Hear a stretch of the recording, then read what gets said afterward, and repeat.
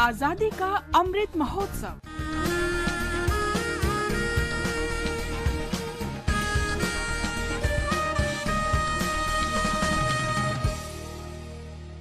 आज़ादी का सफ़र, आकाशवाणी समाचार के संग, एक राष्ट्र का उदय। भारत का गौरवशाली स्वतंत्रता संग्राम, आधुनिक विश्व में घटित महानतम संघर्षों में से एक है। और आकाशवाणी समाचार इस स्वतंत्रता आंदोलन की एक झलक आप तक पहुँचा रहा है हर रोज।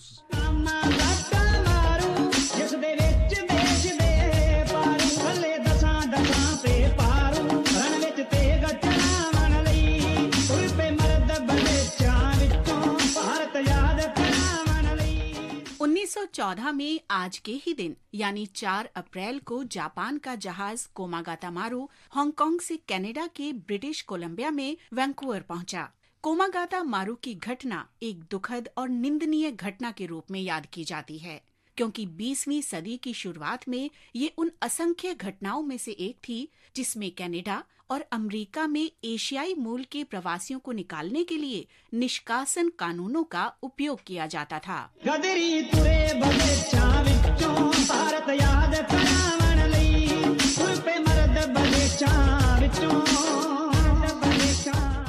कुमागाता मारू में ब्रिटिश इंडिया के पंजाब प्रांत से तीन सौ छिहत्तर यात्री सवार थे। 23 मई 1914 को वैंकूवर पहुँचने पर उन्हें 1910 के प्रवासी कानून के तहत कनाडा में प्रवेश देने से इनकार कर दिया गया।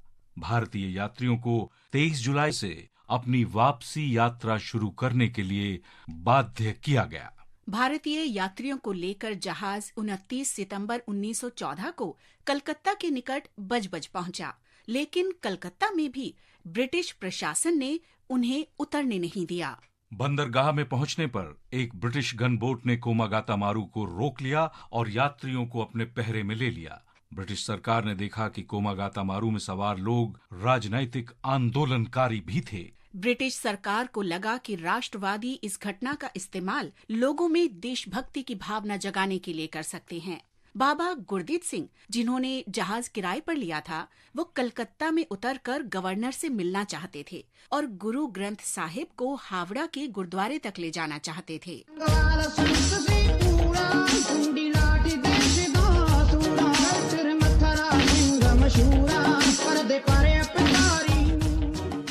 इसे लेकर पुलिस और उनके बीच तेज बहस हुई। अफवाह फैल गई कि गुरदीत सिंह को गिरफ़्तार कर लिया गया। जिसका परिणाम पुलिस और आम लोगों के बीच संघर्ष में हुआ। पुलिस ने लगभग 177 राउंड गोलियाँ चलाईं जिसमें 20 से 26 लोग मारे गए और कई वहाँ से भागने को मजबूर हो गए। अनेक लोगों को गिरफ़्तार कर जेल भेज दिया गया या उन्हें उनके गाँव भेजकर पहले विश्व युद्ध की अवधि के दौरान नजरबंद रखा गया। ਤੁਰ ਪੇ ਬਨ ਸ਼ਹੀਦੀ ਗਾਨੇ ਸਰਨੇ ਚਮਾ ਉੱਤੇ ਪਰਵਾਨੇ ਦੇਣੇ ਦੇਚੋਂ ਕੱਢ ਬਗਾਨੇ ਯਾਦੀ ਜੋਤ ਜਗਾਵਣ ਲਈ ਗਦਰੀ ਤੁਰੇ ਬਗੇਚਾਂ ਵਿੱਚੋਂ ਭਾਰਤ ਯਾਦ ਕਰਾਵਣ ਲਈ बरकतुल्ला और तारकनाथ दास जैसे गदर आंदोलन के प्रमुख नेताओं ने अपने आंदोलन में नए लोगों को शामिल करने के लिए इस घटना को आधार बनाया सन उन्नीस में प्रधानमंत्री जवाहरलाल नेहरू ने कोमागाता मारू के शहीदों के लिए पश्चिम बंगाल में बजबज के निकट एक स्मारक का उद्घाटन किया। इन महान शहीदों को कृतज्ञ देशवासियों का शत शत नमन।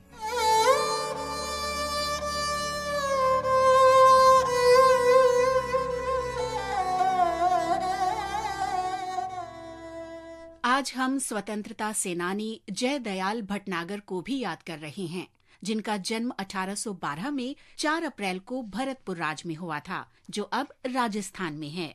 मेहराब खान के साथ मिलकर जयदयाल ने अठारह सौ सत्तावन में कोटा के शासक और कोटा में अंग्रेज़ों के खिलाफ आज़ादी की पहली लड़ाई का संगठन और नेतृत्व किया। उन्होंने ब्रिटिश सरकार के विरुद्ध कार्रवाई का संचालन किया। वो 15 अक्टूबर को कोटा के एजेंसी हाउस पर हमले के लिए आंदोलनकारियों को प्रेरित करने वालों में शामिल थे।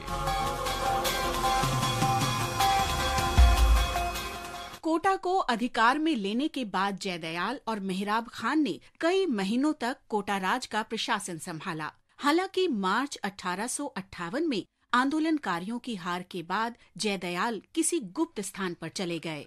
लेकिन एक परिचित ने उन्हें धोखा दिया और ब्रिटिश सरकार तक उनके छिपने की सूचना पहुँचा दी। 15 अप्रैल 1860 को उन्हें गिरफ़्तार कर लिया गया।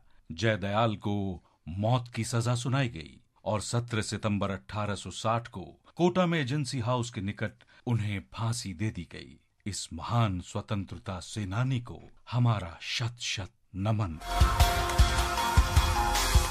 आज़ादी का सफ़र आकाशवाणी समाचार के संग श्रृंखला की ये कड़ी यहीं संपन्न होती है।